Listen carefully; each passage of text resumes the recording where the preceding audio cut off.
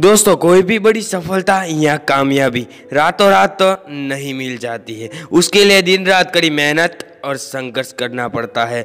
तब जाकर कामयाबी की बुलंदियाँ हासिल होती है। दोस्तों, हर बड़ी कामयाबी के पीछे बहुत ही बड़ा संघर्ष छुपा हुआ होता है। लेकिन यह दिन रात संघर्ष करने की ताकत आखिर मिलती कहाँ से है उनको? तो यह ताकत मिलती है हमारे मोटिवेशन से, यानी कि हमारे ही नहीं हर मोटिवेशन प्रेरणादायक स्टोरी से उनको यह ताकत मिलती है। और साथ में उनका जज्बा भी होना बहुत ही ज़रूरी है। सो so गैज मैं आज आप लोगों के सामने एक ऐसी कहानी शेयर करने जा रहा हूँ जिन्होंने दो रुपये से अपना सफ़र शुरू किया और 500 करोड़ तक का जो सफ़र है वो आज मैं आप लोगों से बताने वाला हूँ। का, कामयाबी की एक ऐसी आग एक ऐसी मिसाल जो सीने में कामयाबी की बहुत ही बड़ी आग लगा देगी। तो आइएगा इस ज़्यादा समय ना लेते हुए वीडियो में आगे बढ़ते हैं। आज मैं आपको एक ऐसे लड़के की कहानी सुनाने जा रहा हूँ, जो ना सिर्फ़ एक दलित समाज से बिलोंग करती है, बल्कि पूरा जीवन संघर्ष से भरा होने के बावजूद हिम्मत और हौसले के साथ जीती रही। और आज 500 करोड़ की कंपनी की मालकिन है। तो चलिए जानते हैं इनके जीवन के संघर्ष और कामयाबी के पीछे की कहानी। ताकि मेरे दोस्त आप भी इस कहानी के ज़रिए प्रेरणा को हासिल कर सके और अपने जीवन के लक्ष्यों को, मुकाम को, उस मुकाम को जो आपने शायद सपनों में देखा है, उसे हासिल कर सके। तो बिना वक्त ना लिए गाइस चलिए वीडियो में आगे बढ़ते हैं। दोस्तों, हमारे समाज पर वर्षों से जात और धर्म का बहुत ही बड़ा प्रभाव रह चुका है। इस भेदभाव के कारण दलित समाज में पैदा हुए लोगों को सालों तक अन्याय और मुश्किलों का सामना करना पड़ा। कल्पना सरोज की कहानी, उस दलित पिछड़े समाज के लड़के की कहानी है, जिसे जन्म से ही समाज की अपेक्षा सहनी पड़ी। बारह साल की उम्र में ही विवाह कर दिया गया था, जिससे विवाह किया गया था वो लड़का उस कल्पना सरोज से दस साल बड़ा था। बाल विवाह का आघात झेलना पड़ा। ससुराल वालों के अत्याचार को सहना पड़ा। सिर्फ़ इतना ही नहीं, दो रुपये रोज की नौकरी भी करनी पड़ी। उन्होंने एक समय खुद को खत्म करने के लिए जहर पी लिया। लेकिन आज वह कल्पना सरोज 500 करोड़ के बिज़नेस की मालकिन है। ज़िंदगी में यदि कामयाब होना चाहते हो ना तो एक बात सदैव याद रखना। हर कामयाबी एक त्याग मांगती है। त्याग जितना त्याग जितना ही अधिक होगा, कामयाबी उतनी ही बेहतर होगी। तो चलिए हम कल्पना सरोज के जन्म से ही शुरू करते हैं। सन 1961 में महाराष्ट्र के अकोल ज़िले के छोटे से गाँव रोपड़खेड़ा के गरीब दलित परिवार में कल्पना का जन्म हुआ। कल्पना के पिता एक पुलिस हवलदार थे। उनका वेतन मात्र तीन सौ था। जिसमें कल्पना के दो भाई, तीन बहन, दादा, दादी तथा चाचा जी के पूरे परिवार का खर्चा चलता था। इस प्रकार परिवार का बड़ा होने के नाते पिताजी के वेतन का घर खर्च ठीक तरीके से नहीं चल पा रहा था। पुलिस हवालदार होने के नाते उनका पूरा परिवार पुलिस क्वार्टर में रहता था। कल्पना जी पासी में सरकारी स्कूल में पढ़ने जाती थी। वे पढ़ाई में तो बहुत ही होशियार थी। पर दलित होने के कारण यहाँ भी उन्हें शिक्षकों और सहपाठियों के अपेक्षा झेलनी पड़ी थी। और कल्पना जी ने अपने बचपन के बारे में बताते हुए कहा था, हमारे गाँव में बिजली नहीं थी, कोई सुख सुविधाएँ नहीं थी। बचपन में स्कूल से लौटते वक्त मैं अक्सर गोबर उठाना, खेत में काम करना और लकड़ियाँ चूसने का काम करती थी। अब आगे बढ़ते हैं कल्पना जी के विवाह की तरफ़। कल्पना जी, जिस सोसाइटी से है, वहाँ के लड़कियों को शहर की पूड़िया की संज्ञा दी जाती है। इसीलिए लड़कियों की शादी जल्दी करने करने को अपना बोझ कम करने का चलन था वहाँ पर।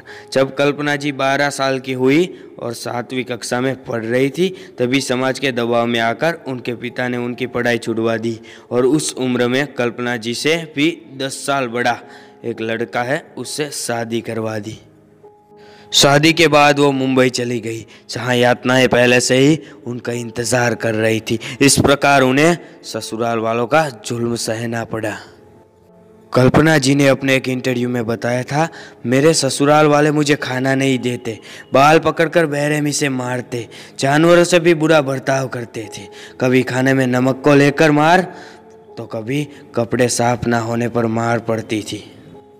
ये सब कुछ सहते सहते कल्पना जी की स्थिति इतनी बुरी हो चुकी थी कि जब छः महीने बाद उनके पिता उनसे मिलने आए तो उनकी दशा देखकर उन्हें, उनके पिताजी कल्पना को तुरंत ही अपने साथ गाँव वापस लेने का फैसला कर लिया। अब आगे बढ़ते हैं। कल्पना जी ने आत्महत्या का प्रयास क्यों किया? जब शादीशुदा लड़की मायके आ जाती है तो समाज उसे अलग ही नज़र से देखता है। आस पड़ोस के लोग ताने कसते तरह तरह की बातें बनाते हैं। पिताजी ने दोबारा पढ़ाई करने के, पढ़ाई में बिठाने की भी कोशिश की, पर इतना दुख देखी हुई लड़की, उसको पढ़ाई में कहाँ से मन लगता? हर तरफ़ से मायूसी कल्पना को अपनी आगोश में लेते जा रही थी। इतना सब होने और सहने के बाद वो अंदर से पूरी तरीके से टूट चुकी थी। उन्हें कुछ समझ नहीं आ रहा था। उन सब घटनाओं को अपनी मानसिकता पर इतना बुरा प्रभाव पड़ा कि उन्होंने अब मरने का फैसला कर लिया। वो अपने मन में यह सोचती हुई कि हर समाज में जीना मुश्किल है और मरना आसान है। वो मनी मन मनी मन में जहर पीने का फैसला कर चुकी थी अब तो। उन्होंने कहीं से खटमट मारने वाली जहर की तीन बोतलें खरीदी और चुपके से उसे लेकर अपनी बुआ के यहाँ चली गई। बुआ जब चाय बना रही थी, तभी कल्पना ने तीनों बोतलें एक साथ पी ली। बुआ चाय लेकर कमरे में घुसी तो उन्होंने उनसे हाथ से कब छूटकर ज़मीन पर गिर गया। देखा कल्पना के मुँह से झाग निकल रही थी। अपरा तफरी में डॉक्टर की मदद ली गई। बचना मुश्किल था, पर भगवान को कुछ और ही मंजूर था। उनकी जान किसी तरीके से बच गई। ये सब होने के बाद एक बूढ़ा आदमी कल्पना जी के पास पहुँचा और बोला, बेटा, जब तुम्हें यहाँ लाया जा रहा था तो मैं समझ गया था तुम्हें जहर पिया है और अब तुम खतरे से बिल्कुल ही बाहर हो चुकी हो। तुम्हारे पिता ने मुझे बताया था कि तुमने सुसाइड करने की कोशिश की थी। मैं समझ सकता हूँ तुमने ऐसा क्यों किया। बेटा भगवान तुमसे ज़रूर कोई बड़ा काम करवाना चाहता है। तुम ज़रूर जीवन में कुछ बनने वाली हो। इसीलिए भगवान तुम्हारे जीवन में इतनी मुश्किलें खड़ी कर रहा है। वो तुम्हारी परीक्षा ले रहा है, बेटा। बस यही से कल्पना जी का जीवन बदल गया। उन्हें लगा कि ज़िंदगी ने उन्हें एक और मौका दे दिया है। कल्पना जी अपना एक विचार बताते हुए कहती है, जब मैं बच गई थी तो सोचा कि जब कुछ कर, करके मरा जा सकता है तो उससे अच्छा है कि कुछ करके जिया जाए। और उन्होंने अपने अंदर एक नई ऊर्जा महसूस हुई। अब तो जीवन में कुछ करना चाहती थी। इस घटना के बाद उन्होंने कई जगह नौकरी पाने की कोशिश की, पर उनकी छोटी सी उम्र और शिक्षा की वजह से कोई भी काम न मिल सका। इसलिए उन्होंने मुंबई जाने का फैसला कर लिया। अब आगे बढ़ते हैं। कल्पना जी ने बुलंद हौसले के साथ बढ़ाए, मुंबई की ओर कामयाबी के कदम।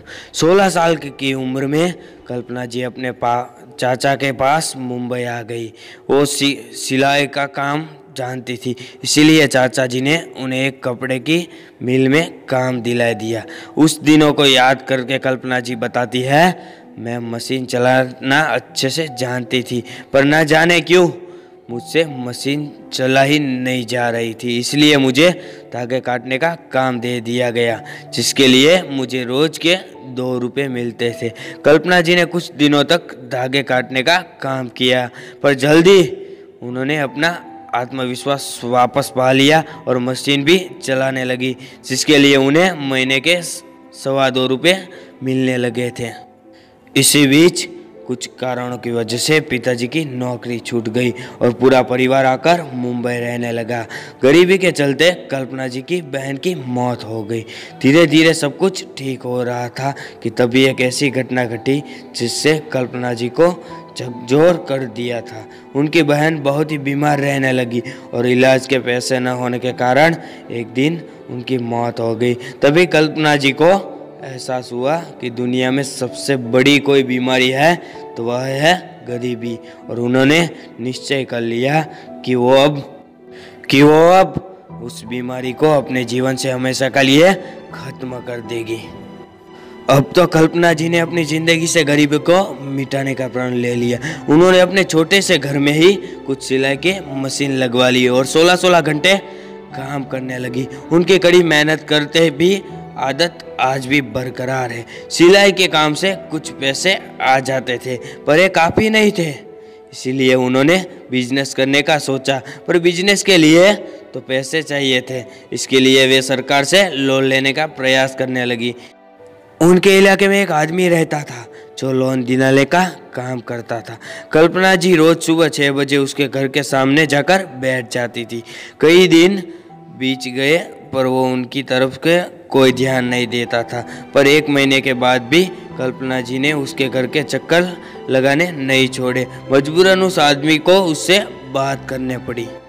उस आदमी से पता चला कि अगर पचास हज़ार का लोन चाहिए तो उसमें से दस हज़ार इधर उधर खिलाने पड़ेंगे। कल्पना जी इस चीज़ के लिए तैयार नहीं थी और इस तरह इस तरह की समस्याओं से निपटने के लिए उन्होंने कुछ लोगों के साथ मिलकर एक संगठन बनाया, जो लोगों को सरकारी योजनाओं के बारे में बताया और लोन दिलाने में मदद करता था।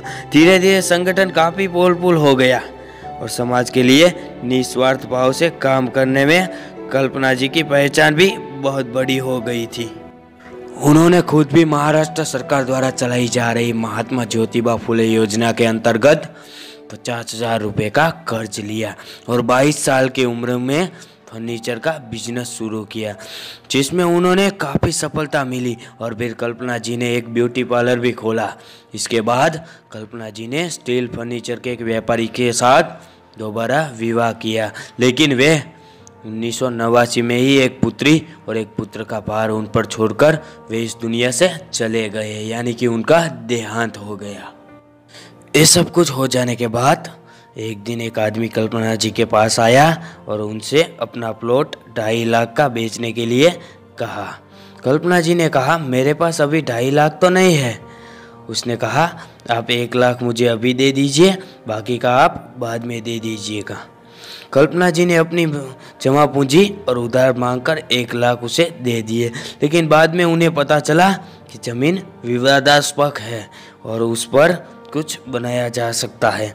उन्होंने एक दशमलव पाँच, यानी कि दो साल, दो भाग करने पर उस ज़मीन से जुड़े सभी मामले सुलझा लिए और ढाई लाख की कीमत वालों का प्लॉट का रातों रात पचास लाख का बना दिया गया। एक औरत का इतनी महँगी ज़मीन का मालिक बनना उस इलाके के गुंडे को बचा नहीं। उन्होंने कल्पना जी की हत्या की साजिश बना डाली, पर ये उनके अच्छे कर्मों का ही फल था। कि उनकी हत्या के बारे में पहले से ही इस साजिश के बारे में पुलिस को बता दिया गया और पुलिस की मदद से उस गुंडो गुंडो को पकड़वा दिया गया। इसके बाद कल्पना जी अपने पास एक आईसेस रिवॉल्वर रखने लगी। इसका कहना था कि मैं बाबा साहेब के इस वचन के यकीन रखती हूँ। सौ दिन भेड़ की तरह जीने से अच्छा है, एक दिन शेर की तरह जिया जाए। आत्महत्या के प्रयास के दौरान वो मौत को इतनी करीबी से देख चुकी थी कि उन्हें अंदर से मरने का डर बिल्कुल ही खत्म हो चुका था। उन्होंने अपने दुश्मनों को साफ़ साफ़ चेतावनी चेतावनी दे चुकी थी। इससे पहले कि तुम मुझे मारने के लिए आओ, मेरी रिवॉल्वर में छह गोलियाँ हैं। छठी गोली खत्म होने के बाद ही तुम लोग मुझे मार सकते हो। ये मामला शांत होने के बाद उन्होंने ज़मीन पर काउंटेशन करने की सोच से उनके लिए उनके पास पैसे नहीं थे। इसीलिए उन्होंने एक सिंधी बेच बेच में पार्टनरशिप खोल दी। उन्होंने कहा, ज़मीन मेरी है और बनाना आपको है। इसके मुकाबले पैंसठ टका अपना और पैंतीस टका बाद में मान ली। प्रकार के कारण कल्पना जी ने चार पॉइंट पाँच करोड़ रुपए कमाए थे उन्होंने। सिर्फ़ इतना ही नहीं, उन्होंने धीरे धीरे धीरे धीरे करके दो रुपए से शुरू किया हुआ सफ़र। 500 करोड़ 500 करोड़ का बना दिया। जी हाँ गाइस ये स्टोरी आपको कैसे लगी, मुझे कमेंट्स में ज़रूर बताइएगा। माफ़ कीजिएगा गाइस ये स्टोरी सिर्फ़ इतनी ही नहीं थी, ये स्टोरी और भी लंबी थी। लेकिन गाइस मुझे उम्मीद होगी कि आप लोगों को सिर्फ़ इस चौदह मिनट में ही पूरी स्टोरी पता चल गई होगी। और इसकी प्रेरणा क्या है, ये भी आप लोगों को समझ में आ गया होगा। अगर ये वीडियो आप लोगों को दिल से पसंद आया हो तो प्लीज़ वीडियो को लाइक शेयर और चैनल को सब्सक्राइब बिल्कुल करना। चलिए गैस मिलते हैं अगले एक और ऐसे ही प्रेरणादायक कहानी में। तो तभी के लिए जय हिंद, वंदे मातरम।